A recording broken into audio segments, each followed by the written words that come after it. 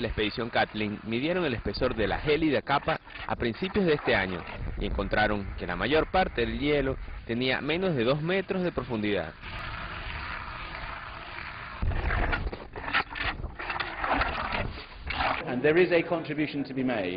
Los exploradores deben contribuir a través de observaciones directas de la superficie y solamente ellos pueden hacerlo, porque tomar este tipo de medidas es difícil, dadas las condiciones extremas a las que tuvimos que enfrentarnos. Estos resultados servirán de base para las discusiones en la próxima reunión de Copenhague en diciembre de este año, donde se espera aprobar un nuevo pacto internacional contra el calentamiento global.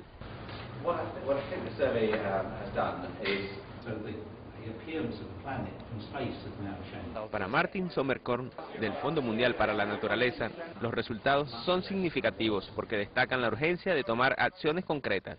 En este sentido, este estudio subrayará la importancia de ir a las negociaciones de Copenhague para salir con un acuerdo que sea mucho más eficiente, rápido y legalmente vinculante para resolver la crisis del clima.